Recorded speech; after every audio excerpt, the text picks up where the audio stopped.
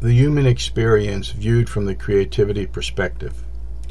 Based on the journey of exploration into our creativity, given all that has been observed about our creativity and our creative experiences, the question that can be asked is what model or paradigm seems to best fit the human experience?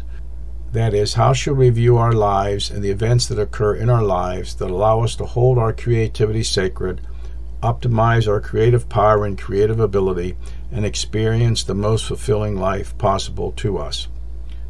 The perspective presented here is based on answering the question Is there a way to view creation that no matter what a person believes, they will have some type of experience of that belief such that they can point to that experience as proof of what they believe is true. And a variation of this question, which asks, Was there a way to view creation that would support such personal and subjective experiences as true? The answer to this question is that we are creators and we create both our experiences and the reality of those experiences, and creation is magical enough to mold itself to give us those experiences. The question then becomes how does creation work that this is accomplished? Now, you can take what is provided here as sheer fantasy, a nice story, or a plausible way creation works. It's your choice. It is recommended you eat and digest what is provided here, keeping what works for you, making it your own, and discard the remainder. But you are reminded what is provided here, the focus of this recording is directed at empowering our creativity and our creative imagination and uses the creativity perspective. It is directed at stretching our perceptions about reality. Some of the concepts presented are analogies and serve as a pedagogical purpose. One should not assume that they are exactly the way creation works, but are effective for our creativity and the exploration of our creativity and of creation. Although some of these concepts may be used literally in some situations, you are encouraged to see them symbolically. It is clear that when we are in our body having our physical experiences, almost everything is taken very seriously. The pain we experience, the hunger we experience, the tiredness we feel, the importance of the task that we are asked to do in this life, all of these are very real to us and very important to us. To suggest any of what we do is unimportant seems to be sheer fantasy. Yet, all that we do is like simply playing in a sandbox. When the sand is moist, we can mold it into structures and forms. When it dries, it retains its shape for a while, then eventually it all falls back into the sand from which it arises. None of it lasts. All that remains are memories. So to our lives and what we do in our life. Other than the attachments which we hold consciously or unconsciously, all that we thought that was important in the past is gone, and we do not really know what will be important tomorrow. All that is really important is how do we choose to respond to that which is before us in this moment, and what attachments to the past cause us to respond as we do. Ideally, it is to let go of all of our past attachments and be fully open to the present moment. However, given our body and the way it is conditioned, it may be impossible to truly be present in the moment without bias from the past. As a human, in many ways, our body is the past that we continually carry forward with us. Being in the body, the body is always with us and attached to us in some way till we die. Yet, it is known the body continually replaces its cells, so even the body is not totally attached to its past. It does change. In contemplating this question as to how to view the human experience, it is clear there are things that we carry forward in life and we can anticipate how they can unfold to some degree. It is here we find some of our attachments to the past are very useful. Our whole education process is based on the premise and hope we pass on that which is useful. Even what may be useful in the future holds us to the past in some way. There are other attachments from the past that do not allow us to freely respond to what is before us. Many of what people call trauma experiences fall into this category. So, what is this human experience really all about? Is it a dance to see what of our past is useful in the future? Or do our attachments force us to live in the past in a new way? Or is there something more occurring of which we are not aware? The journey of exploration into our creativity clearly indicated that we have a life path that some would call a blueprint or itinerary for our life. There are events and circumstances that we are drawn to experience. How we experience them is another question and is determined by how we choose to respond to them in the moment we experience them. In this regard, our response is improvisational. The journey of exploration also clearly indicated that there is within each of us a creative impulse, a heartfelt passion, a longing for something that calls us into life to create certain experiences within this life path and integral to fulfilling this life path. This heartfelt passion guides our life and fuels our life we have. It was also observed that the experiences we have groom us for later life experiences that we have. That is, our experiences build on each other. Each experience we have provides the opportunity to change our attachments and perspective, which in turn changes how we respond to the future events that arise in our life. Additionally, what is interesting about the human experience is we can see that we play roles for each other. Often the roles change in time whether we realize it or not. An infant grows into a child, who grows into a teenager, who grows into a young adult, and then to a mature adult. At each of these stages, we play various roles and interact with individuals in our life in a different way at each stage. Yet we each are all such good actors that we believe we are the roles we play, never really realizing our role is ever changing. At some point, we identify with one of the roles or one or more aspects of the particular roles we play. Probably one of the more common roles we latch onto is the child identifies themselves as the son or the daughter of their parent, and their parents see the child as their son or daughter their entire life but neither the child nor the parent can fully grasp that any label is only that a label. The label says nothing about the true relationship and what role each is playing for the other. Neither cannot fully grasp the role that they are being asked to play for the other. How often does the child become the teacher of the parent in some way, and how often does the parent become the perpetrator of harm in the development of their own child by its demands and expectations? It is often said life is but a dream, and some religions suggest that the world is nothing but a dream, like a creation in the imagination of an almighty spirit. Currently, much is being said about our life being a simulation, and we are players or constructs in the simulation created by a fantastic cosmic light computer.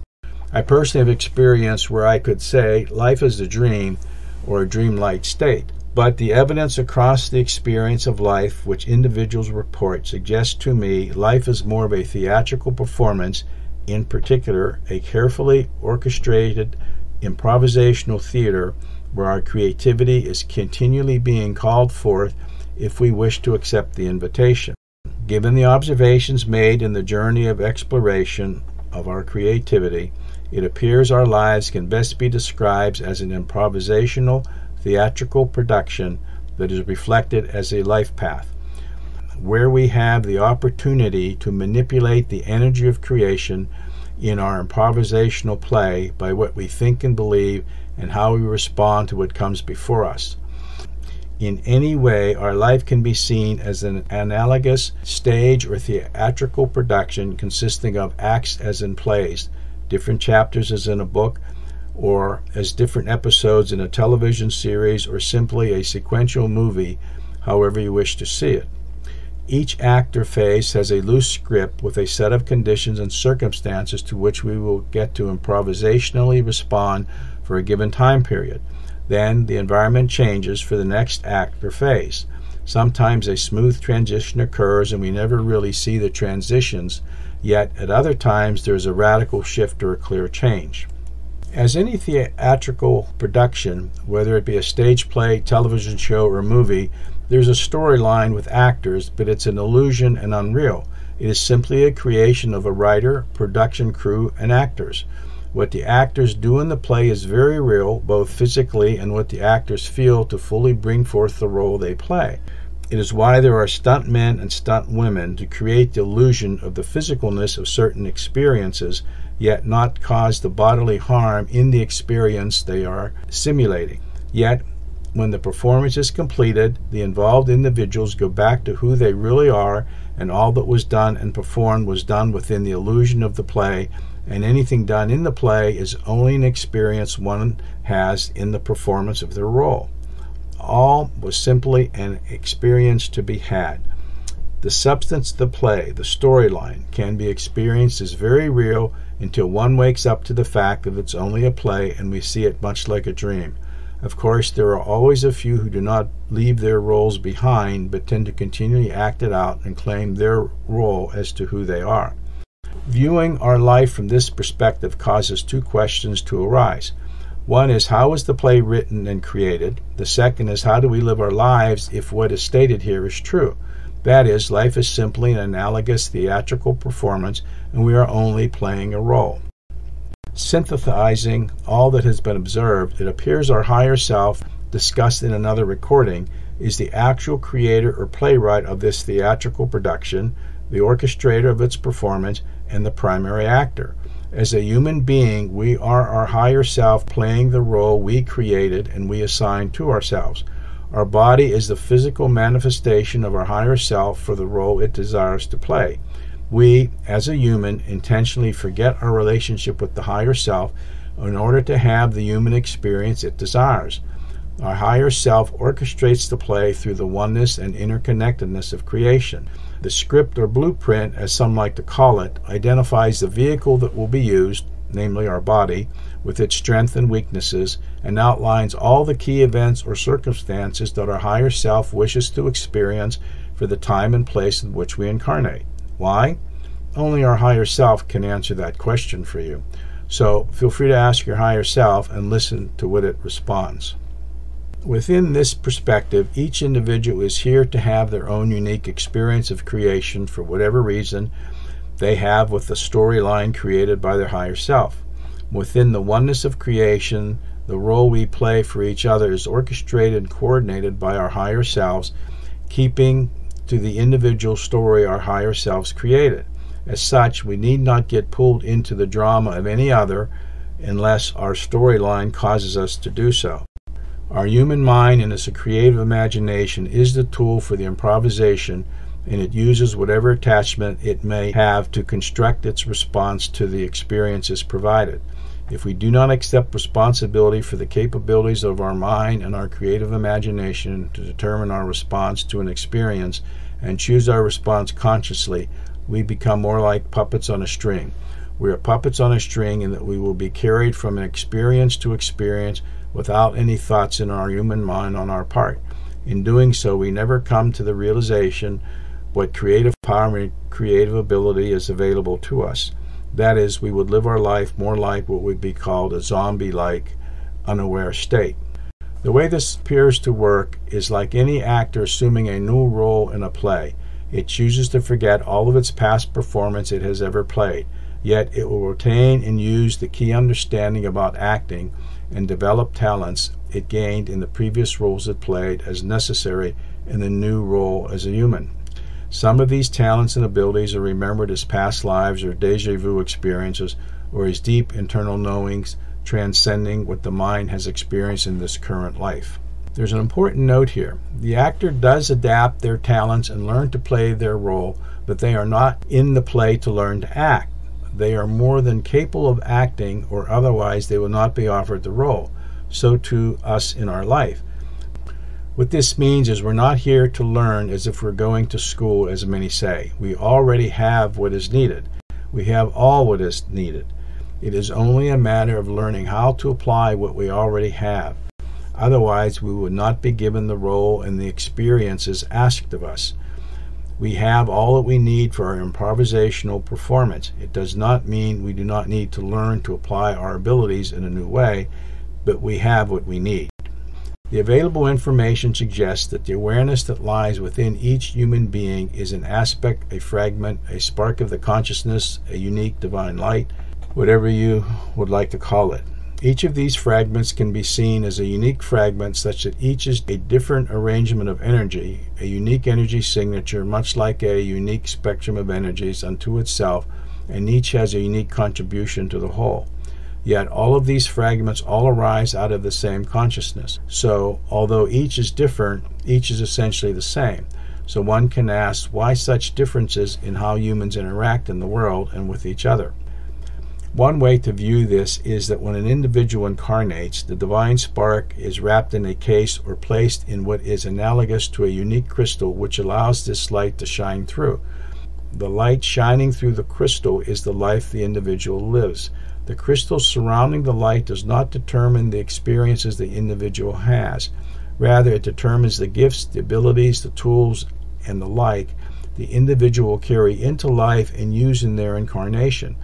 Each of the crystals is different for each person, such that only certain aspects of the individual's light shines through the crystal.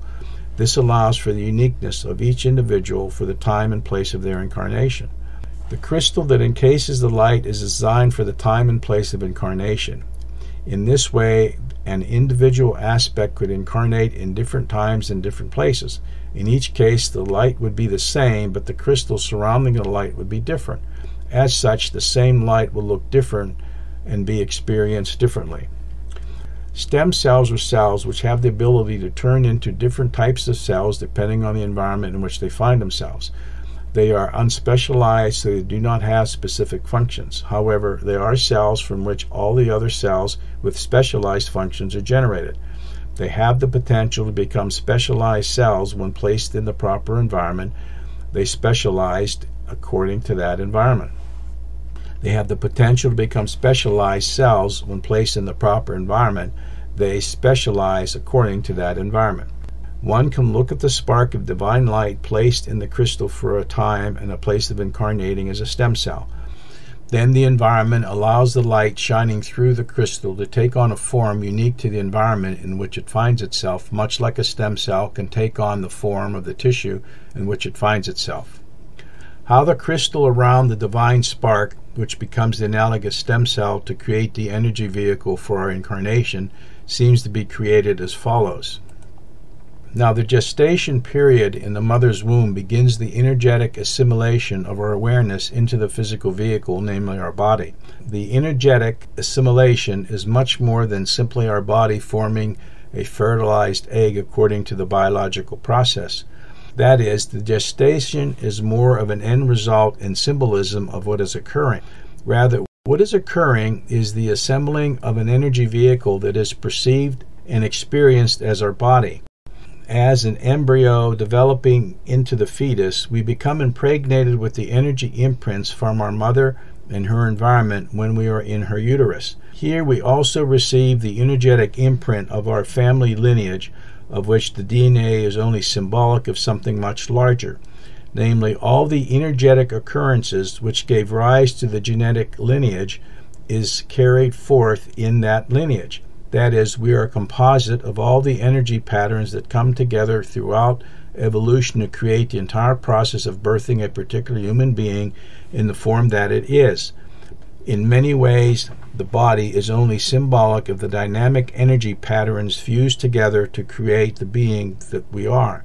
This process gives us an energy vehicle with a unique energy signature in which to have our physical experience. So, even before we are born into the world, we have a profound dynamic energy pattern that many have tried to describe in a variety of ways. In the literature, some traditions describe a causal body, a celestial body, an ether- etheric body, a template, an astral body, and the like. Currently, individuals talk about epigenetics and switching genes on and off. Yet all of these descriptions are only minds conjuring up the ideas and analogies of how our creative life energy and our consciousness creates the life that it does in the form that it does. One of the major realizations in the journey of exploration into our creativity is that the human mind is incapable of fully and accurately understanding how creation works. The best it can give is an approximation, and it usually does so through analogies and the proverbial it looks like, it operates like, whatever. This energetic signature we carry is beyond what most have understood about being a human being, yet it shows itself repeatedly in the experiences of life that our human mind never envisioned for our lives. In an analogous way, trying to understand how the human being arises from all that comes together to create the human energetic being It's just like trying to understand how the makeup artist creates the required makeup for many theatrical productions. The process of putting on the makeup for some roles, especially alien roles where the individual does not look like a human, that requires actors playing the role that look very different from the typical human takes enormous time. The process of putting on the makeup for some roles, especially alien roles where the individual does not look human, requires actors playing roles that look very different from the typical human, and it takes enormous time to put the makeup on. So, too, the actors in this play of life have simply put on an energy signature that they take and materialize in our human body. The human body, in many ways, is simply the makeup we use for the role we play and experience within that role. In understanding this process of forming the body, we have the option of viewing the body as a physical vehicle or as an energy vehicle, or we view it symbolically as representing all the energy patterns which compose it. Viewing the body symbolically makes it much easier to understand the mind body connection in energy medicine. What is important here to understand is two things. One is this energy pattern established the framework or the blueprint of our life path and reflects the intention for our life. The second thing is that it is an energetic pattern. This is something that must be felt. It is encoded within our being as an inner feeling of satisfaction and fullness within our being. When mind becomes aware of this feeling, it is frequently described as a deep, heartfelt passion drawing us into the world or longing for something that often gets interpreted as a longing for a beloved that allows us to feel whole within our being in reality is simply the essence of our being calling us or pulling us to have the experiences to which we incarnated to do. When we do what we incarnated to do, we are energized by life itself. This makes perfect sense in realizing we incarnated for certain experiences, and as we have those experiences, we are energized by that life and catalyze us to move into the next adventure we came to have. The foundation for this play, along with the energy imprint contained in the body and the experience we have had as that actor in previous roles, is our childhood experiences and early programming. They set the stage for the improvisation within the play in which we will participate. But in this play, each experience we have grooms us for both the role we play within our life and to bring forth whatever it is we incarnated to do. Initially, we learn to unconsciously respond to life. In time, we learn we have choices. Through our creative imagination, utilizing our past experiences and what we come to think and believe, we can create responses quite different than what our unconscious response would be. In some ways, it's like a soldier who's been programming throughout his life to hate the enemy, and the enemy is to be killed. Yet, in the moment of looking into the eyes of that enemy, that enemy he is to kill, he sees another human being suffering the same conditioning and issues in life that he faces and chooses not to kill him.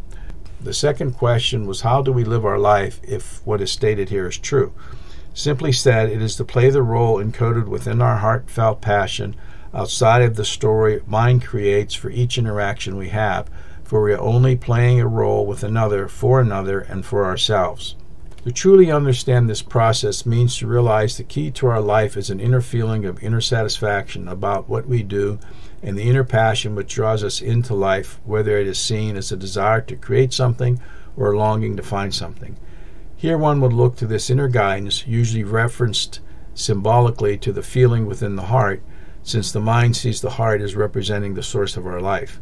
Here one would navigate from the heart. It is to allow this inner feeling to guide our life and look to our mind to figure out how to make it happen given the world in which we find ourselves. The second thing is to respond to life as we feel appropriate, but to realize we are here having the experience of our higher self designed and is orchestrating.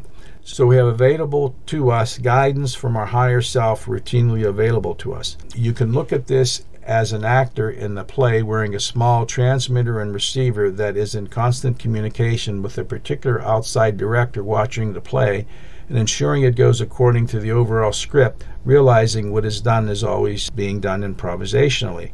So, in the event the improvisation gets too far off script, we can receive guidance as to how we should change our course or adjust our actions. Or, if we are faced with a situation that we seem totally ill prepared to address, to which to deal with, we can always ask for guidance. Such guidance will then come in a variety of possible ways through our intuition and internal knowing, a chance meeting, a synchronicity, a change in circumstances, a shifting of the wind, so to speak, or something that gives us the guidance we need. Or we may find we get nothing because everything is fine in the direction we are going. It's simply a matter of trusting the process. An important note needs to be made here. It was stated that the actor, when assuming a new role, forgets all their past performances. However, it also said that we form attachments and we can attach ourselves to the role we played and retain that attachment after the role is completed. Here I am reminded of a character in a television series that was truly despicable. I would cringe every time he made his appearance. Then I saw the same actor in a movie playing a wonderful, loving role. I marveled at his acting ability between the two characters. However, it was hard to see him in this loving role was a result of the memory I had of him in his despicable role. This is why it is important that we forget memories of the past interactions with individuals in the roles we play so as to not bias our future experiences with the same individual in another role. So it's important to leave our previous roles behind. We can do so when we can forgive what occurred in the past and be thankful for the experience and what was provided. It's about realizing whatever occurred was only a role being played and we in some way agreed to participate. Now, what is interesting to think about is if this individual in his despicable role did not leave this despicable role behind but carried it into the new role in his life, he definitely would be seen as very traumatized, broken, outside of any possible wholeness within his being, and definitely would be seen as requiring years of psychological and spiritual therapy and trauma work to heal. Yet he was only playing a role, and in this role he was a beautiful person. Could he not simply drop a despicable role and be that loving person as in the other movie? Could this individual simply awake and realize he's not playing the role he should be playing? But this brings up the fact that he could be playing the role he needs to play. There are roles that individuals will play for the sake of the current improvisational play one is in.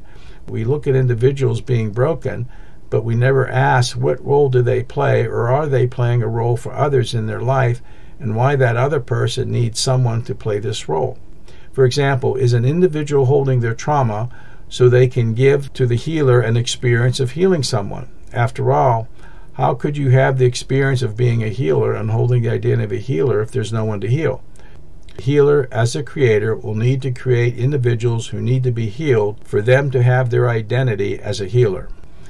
This brings up one of the most interesting observations in the journey of exploration of our creativity.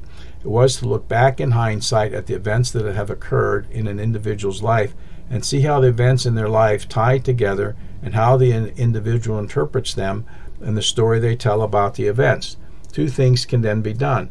One is to ask the individual to look at the story they tell and ask them if they can tell the story in a more positive and empowering way.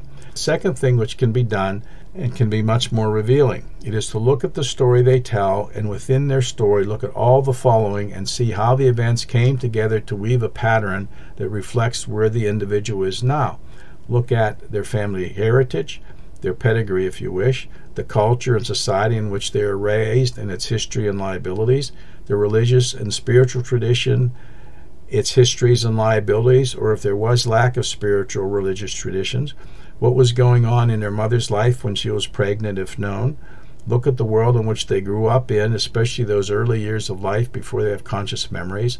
What family stresses and strains existed. Then there's all the events that the individual has had up to the moment this exercise is being done and the stresses and strains that existed in the experiences. In doing this review, we need to remember, as said above, we each carry something like a receiver and a transmitter, such that we can communicate with the outside director and creator of the play, of which we are participating for assistance and clarification. We can always ask why a particular event unfolded as the way it did. The response will come in a form appropriate to the play in which we participate. Then take all this information and the story that the individual tells and do what can be called as a Gedanken experiment, a thought experiment, where you view all the information as a creator and ask, what could I, as a creator, be trying to achieve in this life and with this life? Why would I, as a creator, even think about wanting to live such a life as this life in which I see before me? Remember, the creator is not stupid. The creator is brilliant, insightful, loving, and nurturing. So, why would I, as a creator, create such a life? In pondering this question, insights arise. One insight that arises often is there's a need for compassion. As the old saying goes, there but for the grace of God go I. Simply said, If we were to experience exactly what that other person experienced and what they did, we too would be in the same place. The second side is often about the orchestration of creation as to how interestingly events came together to create that life in its unfoldment and often insights about the individual and creation itself. Now, this Gedanken experiment is best done by the person themselves when they take the position I am the creator, I am brilliant, insightful, loving, and nurturing. Why would I create such a life, and what other ways are there to tell my story? All that can be said here is to try it for yourself and see what arises. Our challenge in life is to live true to the role we chose to play. It is something that is felt and difficult for the mind to understand. So, mind creates a variety of stories that it follows instead of paying attention to the internal guidance through feeling available to each of us in every moment. My opinion, of course, but do your own experiments and see what works for you and find out for yourself. One closing note here is for whatever reason you do not like this play that you are in, it suggested you create a dialogue with your higher self and ask it whatever questions you have. You can even ask it about changing your life path. I personally found all my questions have been addressed in some way, sometimes not to my liking and sometimes in a rather surprising way. Here again, all that can be said is to try it and see for yourself.